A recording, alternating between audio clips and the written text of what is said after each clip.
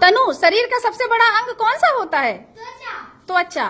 त्वचा हमारे शरीर में सबसे बड़ा और लंबा अंग होता है क्योंकि हमारे पूरे शरीर को ढकता है। शरीर की सबसे बड़ी हड्डी कौन सी होती है?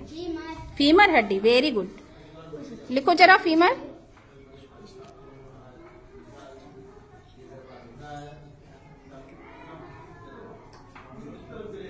फीमर हड्डी कहाँ पर होती है? जांग से लेकर? जांग की हड्डी को ठीक है? शरीर में कुल कितनी हड्डियाँ होती हैं सुहानी? 206 अरे वैसे लिख दो बेटा टू ज़ीरो करके लिख दो।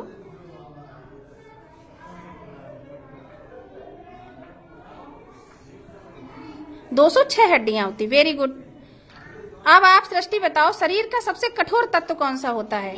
इनेमिल। वेरी गुड शरीर में एक तत्व होता है इनेमिल नाम का वो सबसे कठोर होता है।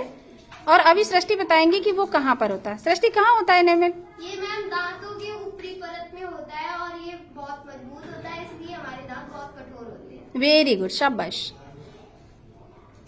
भारत की सॉरी शरीर की सबसे छोटी हड्डी कौन सी होती है? स्टेपीज। स्टेपीज।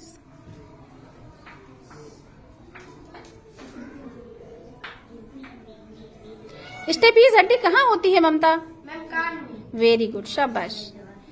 सामोद आप बताइए शरीर में रक्त यानी कि खून की मात्रा कितनी होती है? लिख दो जरा।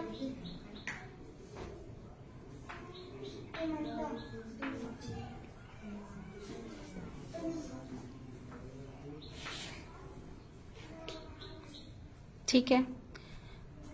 आप बताओ मनुष्य का हृदय एक मिनट में कितनी बार धड़कता है? बहत्तर बार। लिखो।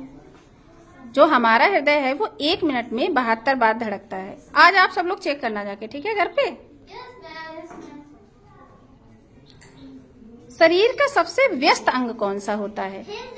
हृदय। हृदय लगातार बहुत काम करता है ठीक है? सबसे व्यस्त होता है। शरीर में पसलियाँ कितनी होती हैं, सृष्टि? बारह जोड़ी। ये वाला आपको पता था? शरीर में पसलियाँ कितनी होती हैं?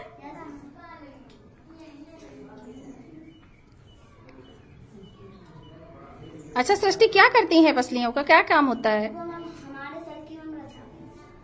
रक्षा करते हैं। शरीर के जो अंदर हमारे अंग होते हैं, उनकी रक्षा करते हैं, ठीक है? चलो।